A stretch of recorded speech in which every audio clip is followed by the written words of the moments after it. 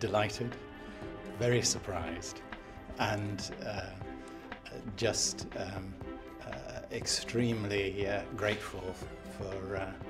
the support that I've had from uh, all the people within IS Pharma, uh, both on the board and, and within the company. We've had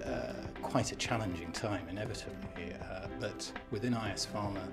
um, we've got well-established business now with a good strategy, and it's seen us through, not without a few hiccups along the way, but uh, as the chairman of the board, it's been a delight to manage the board, uh, mainly because we have a very, very talented executive team.